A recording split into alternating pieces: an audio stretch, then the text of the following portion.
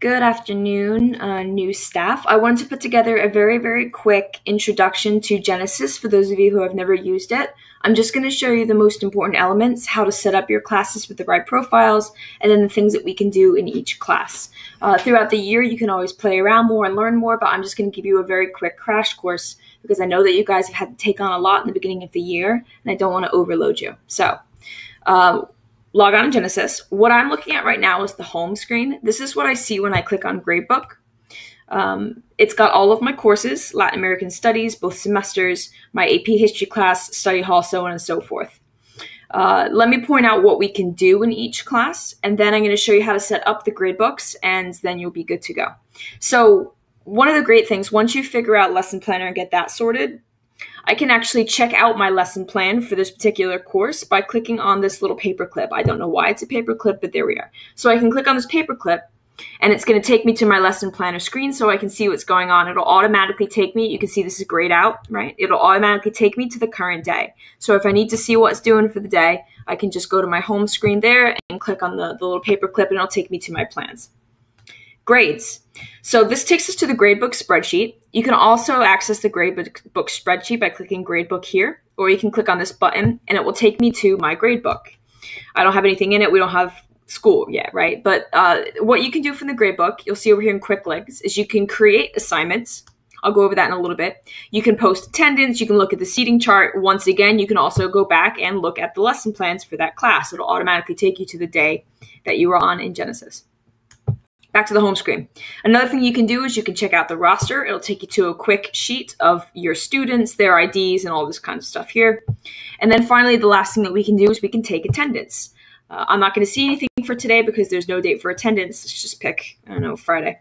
Uh, and I can take attendance from the screen as well. If you've never used Genesis, this is how we take attendance. You have to do it in the first 10 minutes of every period. It's really important to know where your students are at all times. If they're here and they're present, you can just leave it on present.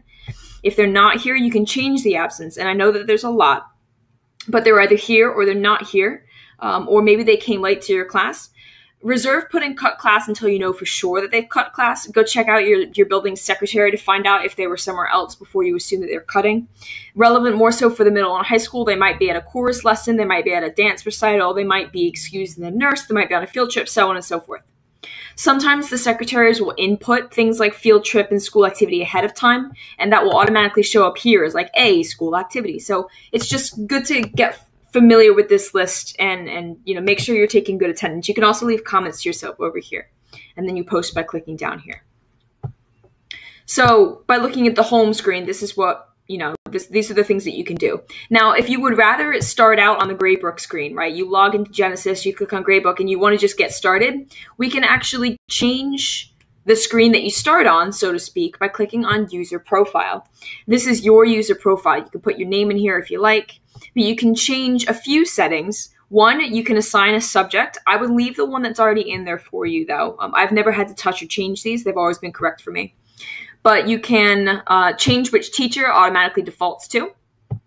You can change the gradebook screen. So mine starts on the home screen. If you want, you can have it default to attendance. You can have it default to the grading spreadsheet, whatever makes sense for you. And you can sort the order your gradebooks appear in the drop-down lists.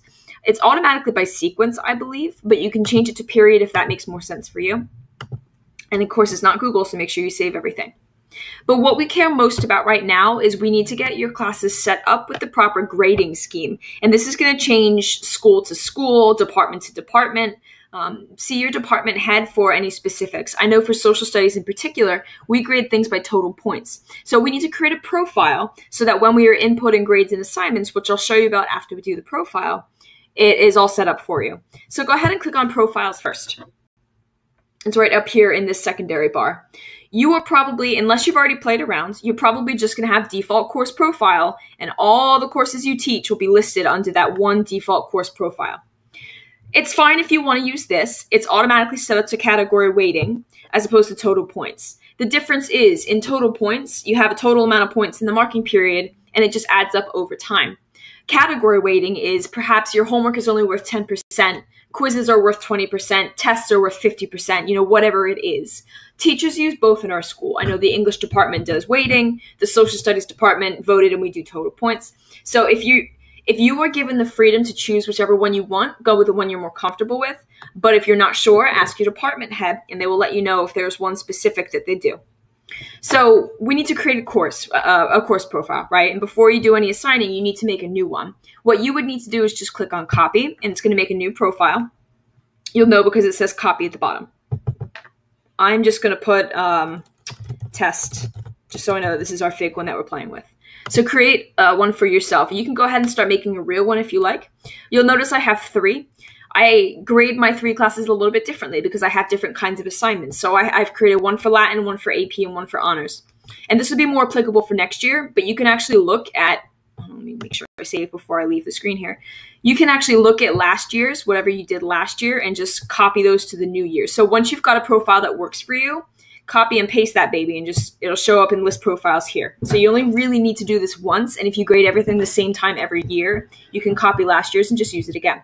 All you would need to do is reassign your classes.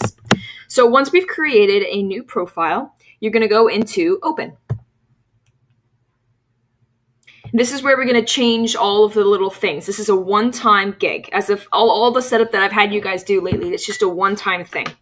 So first you need to choose whether or not you're doing total points or category weighting. Like I said, social studies is total points. So I'm going to go with total points, but whatever works for you. I'll show you what it looks like on both sides. Most of these things, frankly, I would leave alone. Uh, they're automatically set to what you need. There's only a few things you need to double check that are on. You should absolutely, under display preferences, put display IEP icons, display 504s, and I would also display medical icons. They will not automatically appear for you. You may not see them, and then you may not know if you have kids with medical problems, peanut allergies, 504s that you need to pay attention to, IEPs. So please take the second and absolutely turn these on. They are absolutely crucial. I don't know why they're they auto default to off, but you need to put those on there. Um, leave this. Yes, your grades count for all four marking periods. So please make sure that marking period for grades is calculate, calculated using assignments in marking period four. Most of the stuff you do not need to touch, but please change IEP, 504, and medical to yes. You need to be able to see those so you can take care of them properly. Make sure you save before you move on. Grade translations, next tab over from preferences. This is where you would change what your grades mean. So um, an A is 90 to 100. You can break that down and be more specific. You could do A minus 90 to 92, A 93 to 96, A plus 97 to 100, whatever works for you, right? And, and again, it's going to be different for elementary, secondary. Uh, so whatever it is that your school uses or what you plan on using. I don't actually use the rest because I teach 11th grade, but if you're a person that uses check pluses, check minuses, you can assign those grades here uh, outstanding, satisfactory, unsatisfactory. I imagine that's better for um, elementary school. If your class is a pass fail class, I don't know if we have that many of those anymore, but pass fail, all this kind of stuff. So you can change what the grades actually mean. Categories. This is where you would assign uh, you would assign categories. Things like homework, classwork, quiz, test. So go ahead and click add new category. One, that doesn't really matter. And this is going to be for homework. Now, do you want it to be numeric? So when you grade homeworks, it's from 0 to 100. Alphabetic, I'm just going to assign a letter grade for it. Is it going to be on the check system? You need to figure this out ahead of time. I'm going to leave mine as numeric because that's what I use in the classroom. So I'm going to create my homework. Again, the the uh, the first number that we put in really doesn't matter that much. You need to put something in, but don't worry too much. I'm going to leave all of these alone. Okay, um, it's up to you but you do have, and I, I, tried messing with this when I first started, and it just got kind of messy. But you do have the option of dropping up to five different homework grades. So let's say that you have a seventh grade classroom, and uh, you know you struggle with some of your students not doing all of their work. Perhaps you've uh, bargained with your class. All right, guys, I will drop at least two homework assignments, your two lowest and or you know, the ones that you miss won't count anymore. So if you want to drop any grades from the gradebook, you can do that here. Uh, I don't tend to use that, but it's something that you may consider if you want to. You can change the grade type here if you decided after the fact you don't want a numeric. What is homework generally worth? It might be different every time, but let's say your homework assignments are always 10 points. You can change that here, so later when we actually make an assignment, it will automatically make the homework 10 points. You can change the background color. So when you're putting it in your Genesis and the students and parents can see this too, let's say all homework is red. You can change the font as well. Black looks fine on red, so that's fine. Save. All right. Then you can make another category. This one's going to be classwork. It's going to be numeric again. Create. Um, see, automatic. I didn't even put numbers in, and it changed it for me over here. Um, Let's make one for quizzes, so on and so forth. This is all up to you uh, and what you want to do. Very few. That's annoying. Oh gosh, I'm being silly. I'm sorry. The category code is what you would call it. So maybe QZ is for quizzes, description, quizzes. There we go. Okay. Um, and then you can go on so and so forth for there. Make sure that you save your categories and then we're good from there. So let's say we need to go and set up our profile now. I've created this, this fig profile. This is going to be for my Latin American class. So I'm going to go into my setup. I'm going to make sure that I'm in my Latin American Studies gradebook. And I'm going to change my course profile here. Yours is probably on default course profile to begin with. I'm going to change it to the one we just created, which is test, test, test. Remind me to change this back later. This is going to cause problems. So now it's on test, test, test. I changed my profile. This is just telling you what it is that you set it to, right? There's my homework, my classwork, my quizzes, so on and so forth. Okay, that's all you really need to do. I've created profiles, and then I've set it up by assigning my profiles, assigning my classes to whichever profile I want.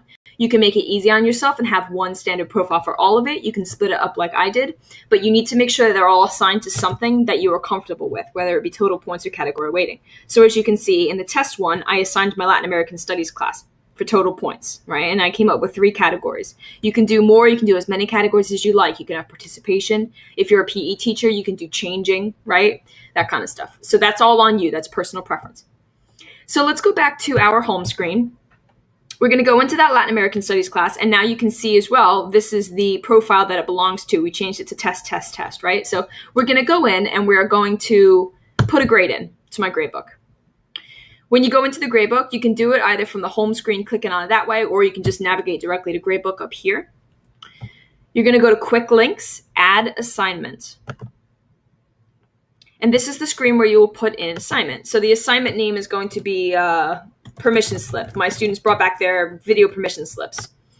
It's automatically going to fill in a certain amount of characters. I'm not going to count it for you, but it, it stops after some point.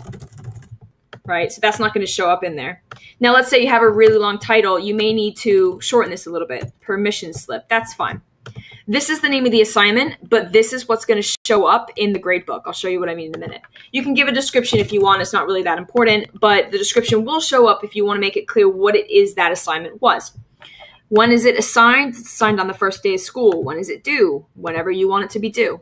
And then this is where those categories come in. Remember we created three, homework, classwork, and quizzes? Well, this one is a homework, and as you can see, it automatically changed my homework score to 10, which is what we had done in our profile setup. It's automatically going to choose the marking period for the start date. So because my assigned date is in marking period one, it's going to make it marking period one. But you have the option of changing it to however many marking periods you're teaching that course. Yours will say four, um, I this is a semester course though, so it's only for two marking periods, which is why mine only says two. Grade type, it's numeric, but once again, I can still change that if I want to.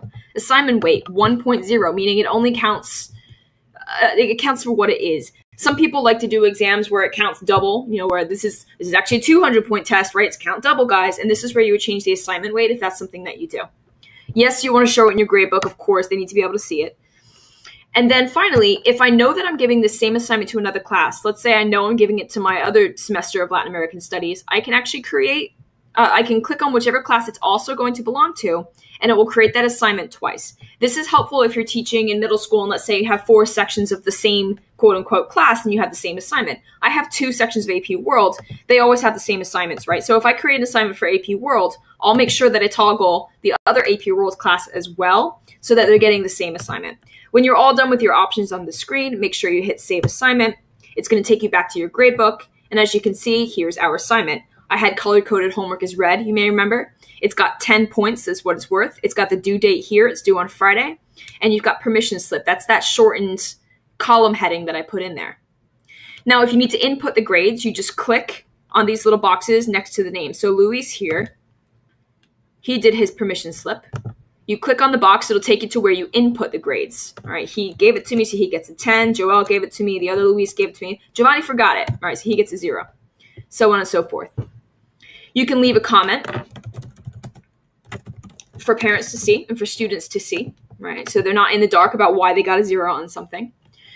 If they were absent that day and they never got it or were not there to give it to you, you can just mark that that was absent. You should always, it's on you though to remember to, to collect it from them the next day, or you can tell them it's on them as well, and you can turn that absent into a zero later on. Ink is incomplete, meaning they just didn't finish it, didn't do it. This is another way of giving them a zero. Exempt means they weren't even here for it, and you know what? It's not that important. They are exempt from this assignment. It will not count towards their final grade. And missing is another way of giving them a zero for it. So I'm going to give one as an incomplete and one as a missing, and you'll see the difference. One is an absent. So for Zaveda here, I put it as a missing. Notice how that gave her a 0% on this assignment. It's like giving her a zero, just like I did with Giovanni. For Gary, he gets an incomplete. It's like saying a zero. You might want to use them as difference. So if parents call you up and say, well, you know, uh, Gary did some of it, but he didn't do enough to get any points, and so he gets an incomplete until he completes it. Or you might want to say, Zoveda never handed in the work, so she got a missing for it. Uh, or you might just want to say, he just didn't do it, I just gave him a zero. There are multiple ways you can do this. It is teacher and personal preference about whether or not you're going to accept them and change the grades later. If you need to change a grade, but you can't because it's grayed out, uncheck it from over here, save the grades, right? And then you can go in there and change it manually yourself. Always make sure that you're hitting save on things. Now, if I were to have multiple uh, assignments in here, I could toggle between assignments, all of the assignments in this marking period here, but obviously I just have the one, so that's the only one that I can see. Once you're done with this, you can go back to your gradebook. It'll take you to the one that you were working in, and you'll see that the thing is here. All of the grades that we did are here. If you ever did missing or incomplete or absence, it's going to show this little marker saying it used to be missing, but now it's not. Uh, and it'll calculate the grade for you. Because I'm doing total points, they've earned 10 points out of a possible 10 points, so they get 100. If you're doing category weighting, it will calculate it by category. So if this is the homework category, he's gotten 100% of the homework category, he's got 100, so on and so forth. Now, let's say that you need to uh, modify this. You can click either on, well, you just click on the thing here and you can change the grades. But let's say that you want to completely delete this. You know, I didn't mean to put it in this class, or I decided I'm not giving it. You can click on the word, the, the thing here, modify homework permission slip and then you can just delete it. I know that in uh, the sessions today, I said not to delete things in Genesis, uh, in, in Genesis unless you really want to. Well, I want to get rid of this. I don't want this as an assignment. My kids are going to freak out if they see they've got a zero before the school year's even started. Yes, I understand that it's been graded. By deleting it, all grades will be removed. That's fine. So in this case, I actually want to delete this, and it will be gone. So again, to get to, to create an assignment, you go to Quick Links, Add Assignment. I think I already went over attendance with you, and you can always go back to the lesson book as well. But just to really recap before I end, you need to go into profiles. You need to create a profile. I'm going to get rid of this now that I'm here. You need to create your profiles, name them what you want. You can have one for all of your classes if it's relevant. If you plan on grading your classes differently or with different things, you can change that if you like. You can always just edit the default course profile with all of your things in it and so that they can all be the same. You go into open to change those settings. When you've changed the settings to what you want, you have to go to setup and you need to assign it. So I need my Latin American Studies class to follow my Latin American Studies gradebook. Change profiles, and then we're good to go, and your gradebook is set up. That's all you really need to know for now. Um, I will mention if you are a homeroom teacher, this may not be applicable to most of you, but if you use Genesis for homeroom calculation, you get to homeroom by clicking on attendance, homeroom attendance, and you'll get your list of homeroom kids, and you do the same thing with the attendance. Except this one is easy. In the beginning of the day, they're either here or they're not here, or they're late to homeroom. Okay. Um, at any point you get lost, you can always just click on Gradebook. That's a nice home button in a way. It kind of takes you back to where you need to be. Uh, if you need to search up a particular student, you can click on student data and you can search by last name, by school, by first name, all that kind of stuff. But make sure you're searching within the right school that's your real basic crash course into Genesis for those of you who actually use Genesis for grading. I know the elementary schools don't really use it in this way, but at least through 6 through 12, this is how you would set up your classes. They should already be in here. If they are not in here, you need to contact one of your administrators or Giancarlo Colosimo, who kind of runs all these online things. But um, this is how you would set it up for the beginning of the year. If you guys have any other questions, please feel free to reach out. My name is Kelli, K E L L I, Beard, as in the facial hair. Um, I met a lot of you at induction. Please don't hesitate to reach out if you have a question. And if you need any more of these tutorials about things, I am certainly willing to make them for you.